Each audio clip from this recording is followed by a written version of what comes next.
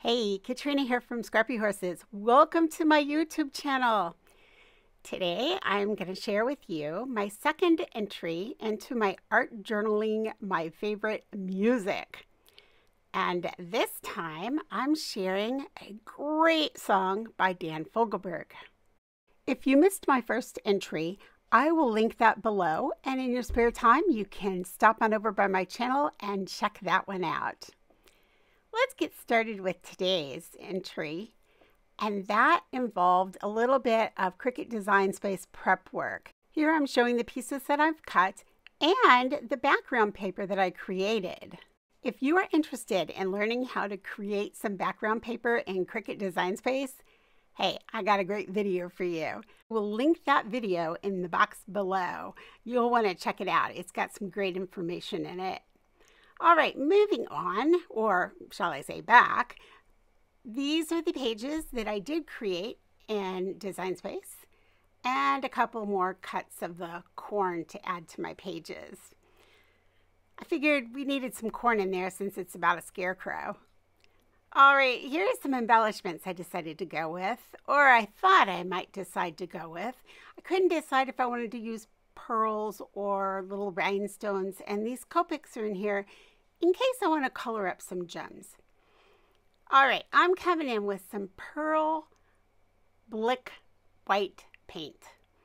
And it has sort of a sheen to it. And I'm adding to it some ink just from my stamp pad, close to my heart. Um, I believe the color is Sapphire. I like to do it this way because I can mix up whatever color I like and also cuts down on storage issues for me. I don't have to store a bunch of different colors of paint. I can just mix up what I want and just enough to use. I'm going to go ahead and dip my brush in and just add a few little texture places around the edges. You'll notice the um, the clear plastic wrap in there. It's not plastic wrap, it's actually cereal. It's from cereal boxes. Um, I just wash them up and use them between my pages. And they clean up nicely and reusable that way.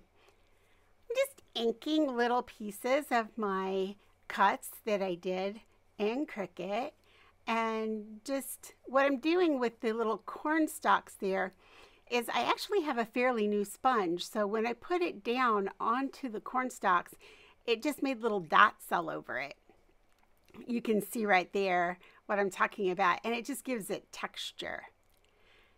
This piece actually lies behind the green, so I'm just coloring in the little corn, the little pieces of corn there that are growing out of there with my Copic marker. Now, when I cut this on my Cricut, those ends frayed a little bit, so I'm just going to cut them away because they're going to go behind the green anyway, so it's not really a, a big deal. And then I also don't have to worry about matching it up. I'm going to use my Zig two-way pen here and just go ahead and put these corn stalks together. And then I'm going to bind them up with some gold thread.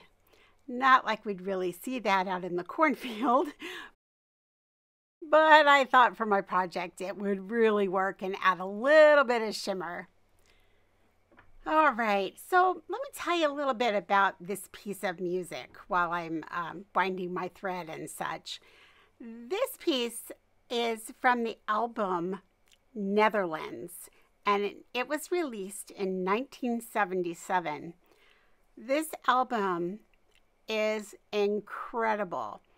I've always been a Fogelberg fan. I, I just think he's a great lyricist, a great composer, just a great musician. I've always enjoyed his music.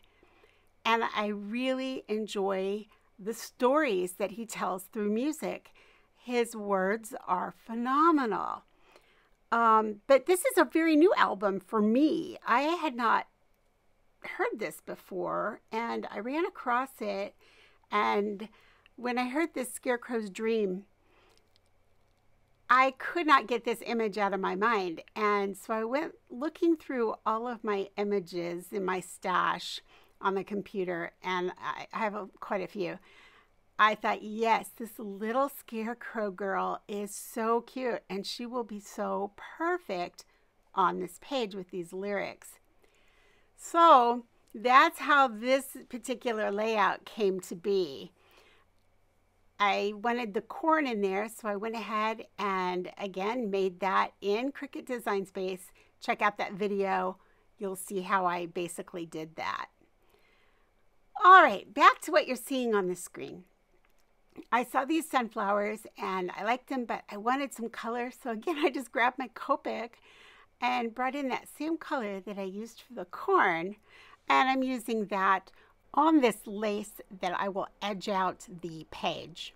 So it is time now to put some double-sided tape and glue and adhere this into my book. Now you'll see I got a nice big sloppy glue splotch there, so I had to wipe that away. I tend to do a lot of cleaning and I usually do not include that in my videos. I usually cut it out. So I thought, well, I'll leave it so you guys can see just how messy I really am.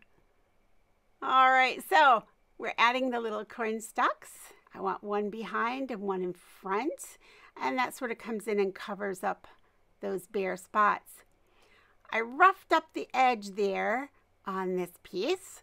I did that by uh, laying it down on my glass plate and just rubbing scissors, uh, dull scissors on it, and it really scruffed it up, made it look really, really distressed. I wish I had recorded it, but I didn't. I, my camera clicked off. I apologize. I'm adding this, my lyrics, to the left-hand side of the layout.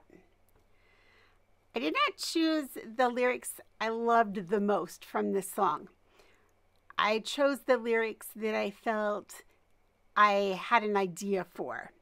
So you may see more lyrics from this song later in another layout. Be prepared because I just, I love the song and uh, there are other lyrics in there that I just need to think about and see what comes to my mind, see where my brain takes me. Okay, so we're gluing her into place and we're just about finished here. We just have a few little gems to add. And I decided to go with these retired gems from Close to My Heart. They're in shades of blue and teal.